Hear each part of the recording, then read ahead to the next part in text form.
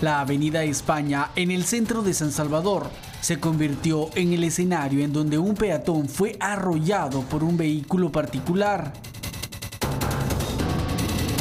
Se trataba de un hombre quien a la hora de cruzar la vía sufrió el impacto de un vehículo tipo sedán. Tras ser atendido por los socorristas, la víctima fue trasladado de emergencia a un centro hospitalario con múltiples lesiones. En otro percance vial ocurrido en el redón de la isla, en las cercanías del mercado La Tiendona de San Salvador, un hombre resultó con algunas lesiones luego de caer de la motocicleta en la que se conducía. Socorristas de comandos de salvamento llegaron al lugar para atender a la víctima, un hombre de 50 años que presentaba múltiples lesiones, pero que se negó a ser trasladado. William Trujillo, TCS Noticias.